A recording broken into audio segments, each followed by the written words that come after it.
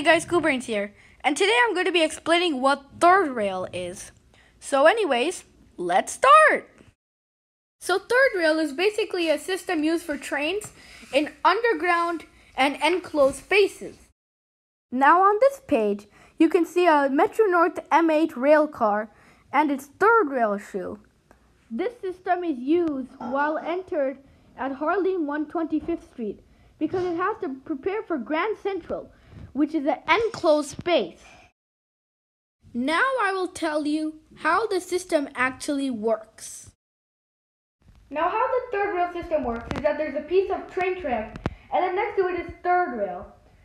Now the third rail carries electric and then the train comes in with a third rail contact shoe and then it connects with the third rail and then withdraws power into the train and then the train starts moving. Now this could be a pretty useful system for towns that do not allow electric overhead wires and at the same time diesel.